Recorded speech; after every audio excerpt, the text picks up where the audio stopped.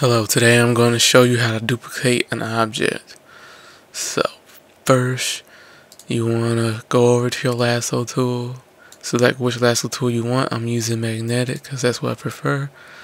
Now, you want to outline the object you want to duplicate.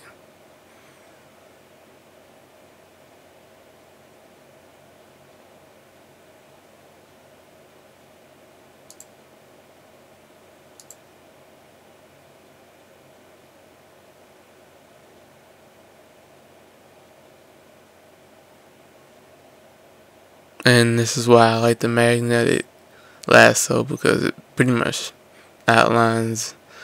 Sometimes it doesn't do too well, like right here. I didn't get that part, but that's fine. It happens.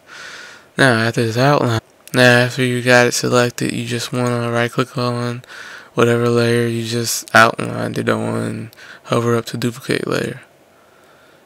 And you can change this if you want. I'm just going to leave it like this. Now, to see if you duplicated it, hover over to your tools bar, click on the move tool, and just simply move the object over. And this is how you duplicate an object in the photo.